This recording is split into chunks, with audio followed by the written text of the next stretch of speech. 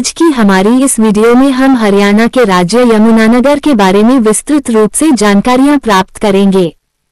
यमुनानगर ज़िले की स्थापना द फ़र्स्ट ऑफ़ नवंबर 1989 को हुई थी। इसका क्षेत्रफल 1768 किलोमीटर है। इसकी फोर तहसीलें जगाधरी, छछरौली, बिलासपुर और रादौर है। इसके फोर विधानसभा क्षेत्र शदेरा जगाधरी, यमुनानगर, रादौर है। अब हम इसके इतिहास के बारे में जानकारी प्राप्त कर लेते हैं। यमुनानगर ज़िले के सम्राट अशोक का एक स्थान प्राप्त हुआ है। यह अभिलेख ब्राह्मी लिपि तथा प्राकृत भाषा में लिखा हुआ है। इश्क हमको 1356 ईस्वी में डोकरा से मुरवा करे फिरोज शाह, तुगलक दिल्ली के फिरोज शाह, कोटला में गलवा दिया। यमुनानगर ज़िले से सूद से एक अन्य प्राचीन अभिलेख मिला है। प्रसिद्ध इतिहासकार डॉक्टर केसी यादव के अनुसार दूसरी शताब्दी पूर्व यह अभिलेख समस्त भारत में बाराखड़ी की लिखाई का सबसे प्राचीन अभिलेख है। यमुनानगर ज़िले के जगाधरी गुड़िया तथा शोध से भारी मात्रा में कुनुंद गन के सिक्के प्राप्त हुए हैं। नोट। टोपारा शुद्ध गुड़िया नामक स्थान प्राचीन समय में अंबाला के अधीन आते थे, परंतु वर्तमान में यमुनानगर ज़िले के अधीन आते हैं। 1818 में रानी रामकोर की अयोग्यता का बहाना बनाकर अंग्रेज़ों ने छछरौली की रियासत पर कब्जा कर लिया था। यमुनानगर ज़िले के आदि बद्री से यमुना नदी का उद्गम स्थान माना जाता है। गुरुद्वारा कपाल मोचन, बिलासपुर गुरु गोविंद सिंह जी ने सोलह में बावन दिन तक पड़ाव डाला था। यमुनानगर जिला गन्ना उत्पादन में पूरे राज्य में प्रथम स्थान पर है। वनों की दृष्टि से यमुनानगर जिला पंचकुला के बाद दूसरे स्थान पर है। कालेश्वर क्षेत्र में शाल व चुनार के वृक्ष पाए जाते हैं। यमुनानगर ज़िले में लाल मृदा पाई जाती है। बिलासपुर पेपर मिल की स्थापना उन्नीस सौ उनतीस में की गई थी। यह उनंत क्षेत्र के लिखने के, मुद्रण करने के कागज़ का उत्पादन होता है। सरस्वती शुगर मिल की स्थापना 1930 में लाहौर यमुनानगर में स्थापित यह मिल। सरस्वती उद्योग लिमिटेड की यूनिट है। एशिया की सबसे बड़ी अब्दुल्लापुर टिम्बर मार्केट जो उन्नीस से चल रही है यमुनानगर में स्थापित है। रेलवे कैरेज तथा वैगन वर्कशॉप जिसकी स्थापना उन्नीस सौ बावन में जगाधरी में की गई थी। जगाधरी स्थित रेलवे की यह वर्कशॉप भारत की एकमात्र वर्कशॉप है, जहाँ शताब्दी एक्सप्रेस की मरम्मत का कार्य होता है। हरियाणा डिस्टलरी की स्थापना उन्नीस सौ उनहत्तर में की गई। यहाँ पर उच्च गुणवत्ता की अल्कोहल का उत्पादन होता है। यमुना गैस लिमिटेड यमुनानगर में स्थापित की गई थी। हाथी एवं अनुसंधान केंद्र यमुनानगर राजा शांतनु से संबंधित है।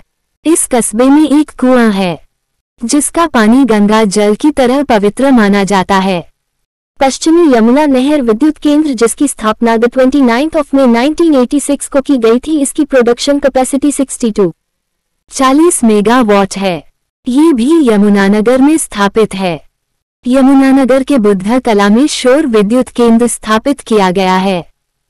यहाँ के प्रमुख पर्यटन स्थल निम्नलिखित है। ताजे ताजेवाला कम्प्लेक्स ग्रेपिनिलिन पिंटेल हथिनीकुंड मछुआरों का स्वर्ग, मछुआरों का स्वर्ग हथिनीकुंड को कहा जाता है।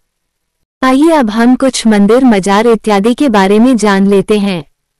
कपाल मोचन और सोनसरोवर तीरथ, बिलासपुर, श्री कालेश्वर महादेव मठ, कालेश्वर, विश्व के प्रसिद्ध ट्वेल्व मठों में से एक नर नारायण की गुफा। यमुनानगर लोहागढ़ का किला, बिलासपुर, चिटा मंदिर। यमुनानगर लगभग 70 वर्ष पूर्व हनुमान जी की मूर्ति स्थापित की गई थी।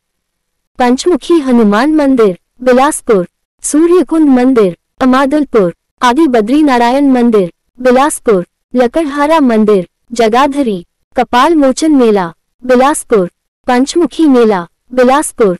अब हम यहाँ के प्रमुख व्यक्तियों के बारे में जान लेते हैं।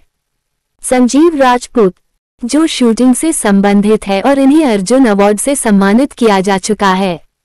सुनील दत्त, जो एक एक्टर थे, उनका निवास स्थान भी यमुनानगर ही था।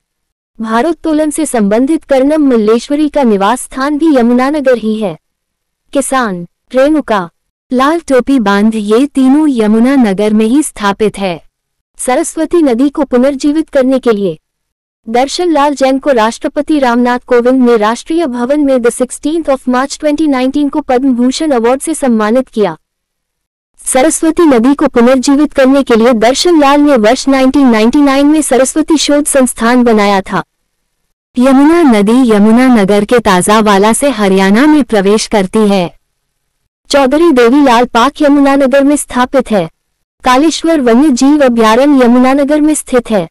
सरस्वती विकास बोर्ड का अध्यक्ष मुख्यमंत्री होता है। खिजराबाद का नाम बदलकर प्रतापनगर कर दिया गया है। मुस्तफाबाद का नाम बदलकर सरस्वती नगर कर दिया गया है। यमुनानगर के टोपारा कला गाँव में देश का सबसे बड़ा अशोक चक्र जिसकी ऊंचाई 30 फीट है, का उद्घाटन द फिफ्थ ऑफ़ जनवरी 2019 को किया गया था।